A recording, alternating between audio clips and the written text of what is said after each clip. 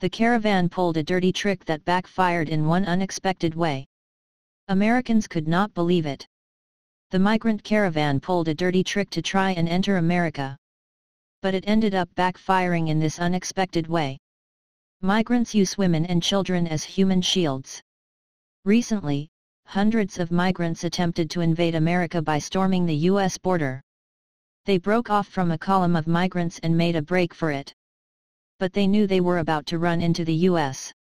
Border Patrol. So the migrant hooligans began firing rocks and other heavy projectiles at Border Patrol in an effort to clear a path to the U.S. border. Several agents were actually struck by rocks, San Diego Chief Border Patrol Agent Rodney Scott stated. He then described how the thug migrants forced women and children to the front lines to act as human shields. This allowed the migrant attackers to bombard Border Patrol agents with rocks and other heavy projectiles.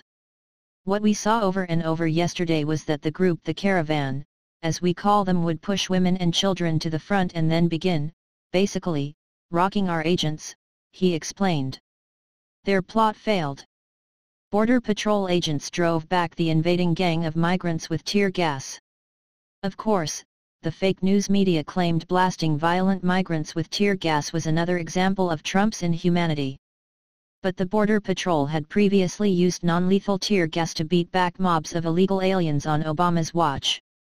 In fact, the Washington Times reported that the Border Patrol deployed tear gas against gangs of illegal aliens more than once a month in the final years of the Obama administration. How the migrants' plan backfired.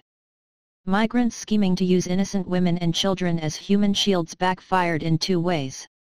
First, Donald Trump noted that the images of hundreds of migrants storming the border worked against the Democrats. He argued this proved Congress needs to fund the wall.